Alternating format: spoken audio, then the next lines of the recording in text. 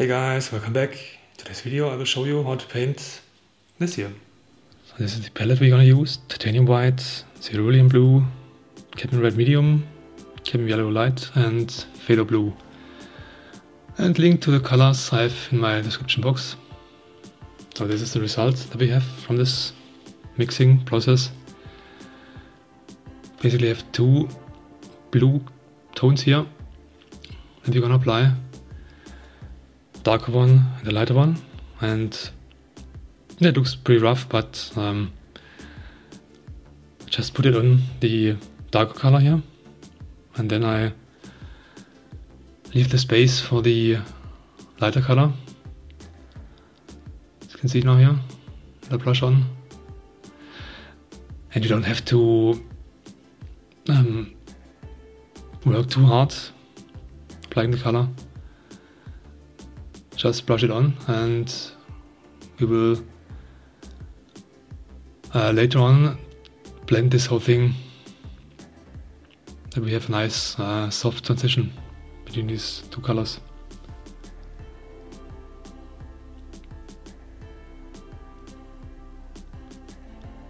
Using this blender brush here, very soft brush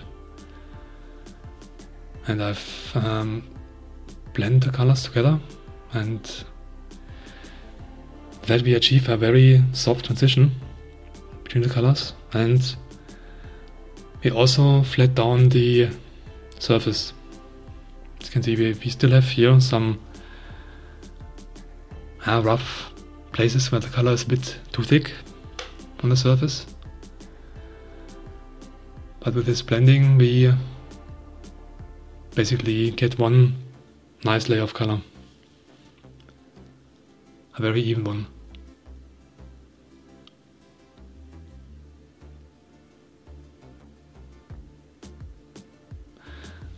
I let this dry for two days, and then I start to mix the final layer. As you can see, we have a very light blue color here, and some more or less whitish tones here. And I'm using only uh, linseed oil for this mixing process.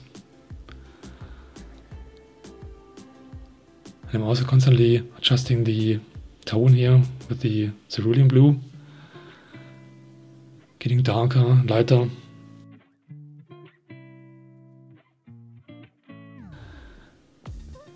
And here I basically establish the rough um, directions and places of the highlights. You also see the colors very thin down.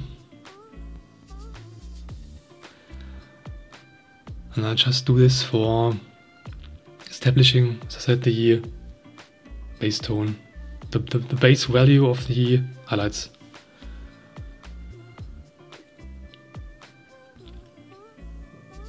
You don't need to be afraid um, can go in and blend the edges. Just follow your reference material. Then you see that I already established some highlights that uh, will be the base for the next layer that I apply with this uh, fine brush here also the next brighter color.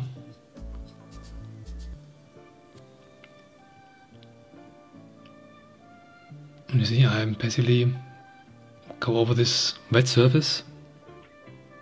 Um, it's still wet from the first layer of the bluish color. And here I basically establish the detail layer. Can see it's it's a bit of a mixture between a dry brush technique and some wet and wet blending technique that I'm using here. I basically apply the color and sometimes I grab the little blender brush and blend the color into the still wet surface here. Because the very important aspect here is that you have the um, difference between the lighter tones and the darker tones of this highlight uh, level here. And this takes a while, so don't rush and just follow your reference material and see me here having a darker bluish and a lighter bluish um, color section here. And I think this is one of the key parts of this whole painting that you need to imply the depth of the water that you have.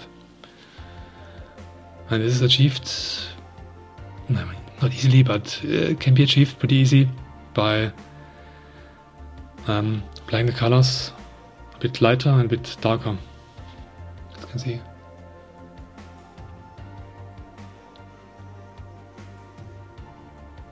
And you don't have to copy your reference material like a slave, but you should um, try to get what is going on there and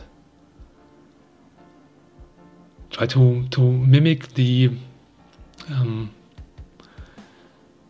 how the colors build ups on these original photos that you're gonna use.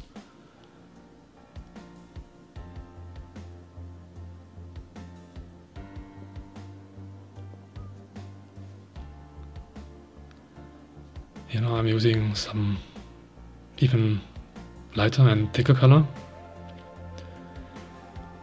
to get in some more um, lighter reflection here.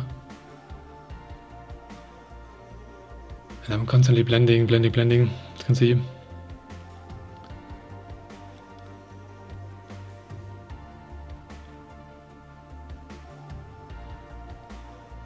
I'm putting the color in roughly with a smaller brush and using this blender brush here. Small one, it's, uh, it's a quite time-saving way of applying the color here. And again, you don't, you should not try to get those um, highlights in evenly washed out. Need some sharp edges, some softer edges.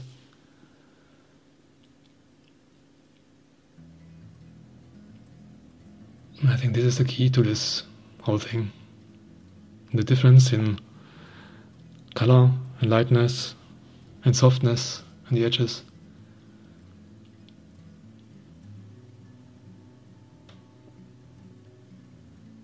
Yeah, like for example here you have this these hard edges. This one here and the more softer ones on this side.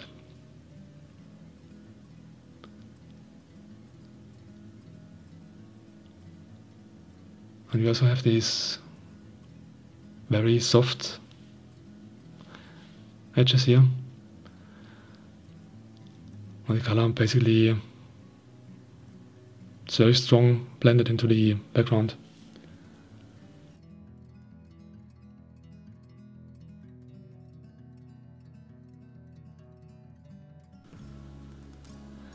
Yeah, and so basically build up the whole painting.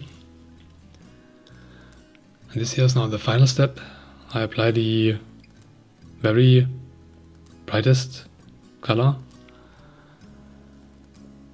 It's uh, not that thinned down anymore and I apply it just on some certain spots,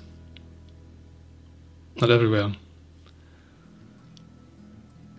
Because you just need these contrasts more blending. But be careful, it's a very thick color here.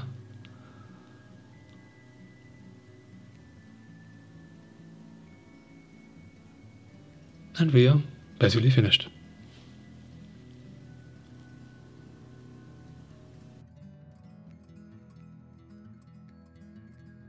If you'd like to see more about how to paint water, I got here another video.